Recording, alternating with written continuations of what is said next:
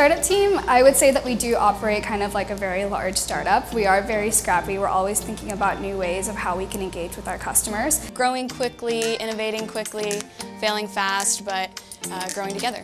So AWS first, our customers were really startups. They were the first um, adopter of AWS and doing you know, innovative things. And um, we have startups that I worked with nine years ago that were just starting, and now they are you know big uh, enterprise customers. During the pandemic, we were able to work with a number of fintech startups that were helping large banks and other, other lending companies get billions of dollars into the hands of small businesses when they needed it the most. When I had the chance actually to, to join the team at AWS, uh, it was just like something for me that I always wanted to do anyway.